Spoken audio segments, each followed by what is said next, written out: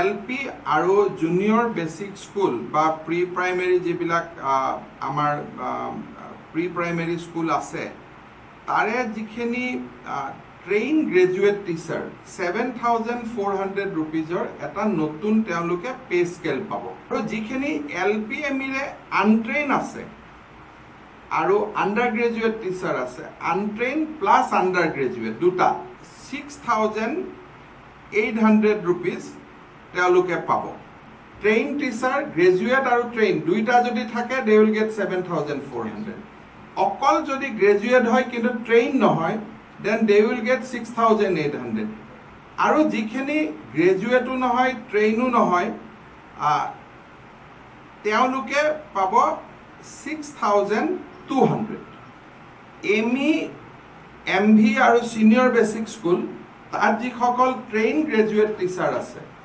আপোনালোকে চাৰ্টখন পাই যাব।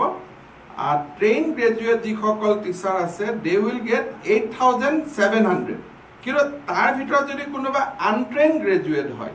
তেতিয়াহ'লে I will get six thousand eight hundred তাৰপিছত আৰু এটা টিচাৰ তাৰ ভিতৰতে আছে যোন গ্ৰেজুৱেটো নহয় এম ইত কাম কৰি আছে ট্ৰেইনিঙো নাই। They will get six thousand two hundred তাৰপিছত আমাৰ ইয়াত এটা টিচাৰ আছে যিসকলে হাই স্কুল আৰু হায়াৰ ছেকেণ্ডেৰীত যিসকলৰ মানে বেচিকেলি গ্ৰেজুৱেট টিচাৰ হয় কিন্তু হাই স্কুল আৰু হায়াৰ ছেকেণ্ডেৰী তেওঁলোকে কাম কৰি আছে eight thousand seven hundred pay' বেণ্ডত আছে। তেওঁলোকৰ কাৰণে এটা স্পেচিয়েল এলাউন্স এটা থ্ৰী হাণ্ড্ৰেডো এনামলি কমিটিৰ ফালৰ পৰা ৰিকমেণ্ডে ৰিকমেণ্ডেশ্যন কৰিছে। চৰকাৰে এতিয়া আমি এডিশ্যনেল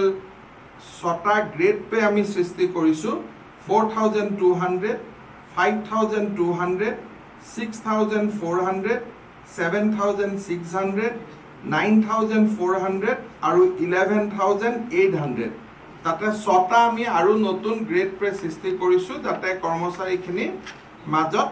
যিটো এটা অসুবিধা হৈ আছিলে যে ছিনিয়ৰ জুনিয়ৰ আমি একে বহুতখিনি যিহেতু পে বেণ্ড কমি গৈছিলে ছিনিয়ৰ জুনিয়ৰ বহুতখিনি একলগ হৈ গৈছিলে সেইকাৰণে ছয়টা নতুন এডিশ্যনেল গ্ৰেড পেও আমি